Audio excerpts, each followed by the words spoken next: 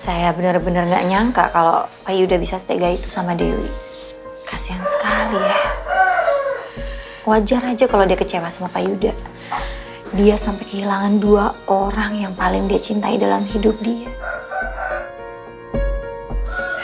Iya, Tar. Uni juga nyesel pernah minta Dewi untuk dekat sama Pak Yuda. Kalau aja Uni tahu Pak Yuda kayak gini, Uni pasti akan melindungi Dewi dari Pak Yuda.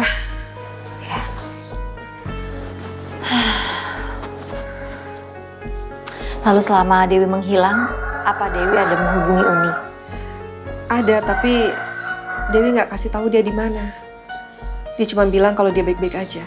Hubungin Uni lewat apa? Lewat telepon? Iya, Berarti Uni punya nomor telepon yang waktu itu Dewi menghubungi Uni?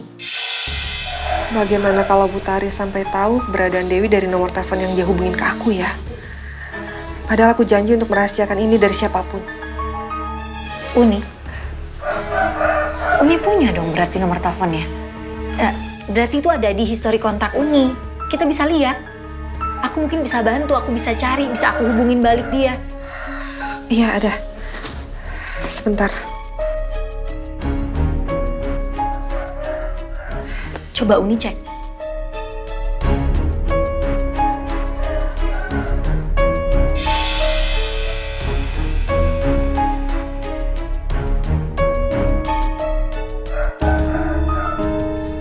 Kayak ada yang salah deh Uni sama um, histori kontaknya. Coba uh, semua historinya nggak ada sama sekali. Iya, Uni lupa. Ini kemarin handphonenya sempat hang. Terus Uni bawa ke counter handphone.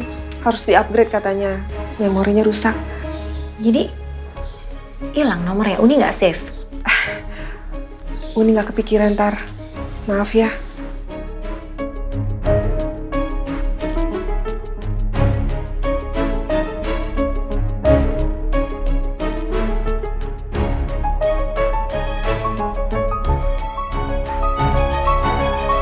Gini deh.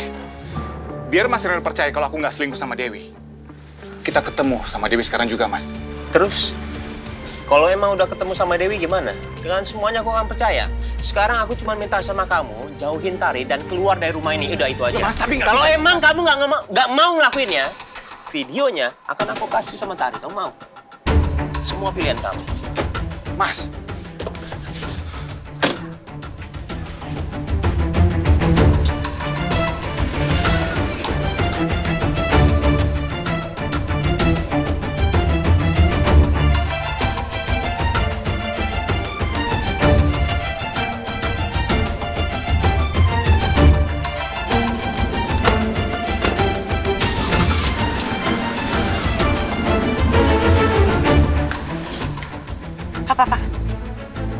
Pak, Pak, Pak.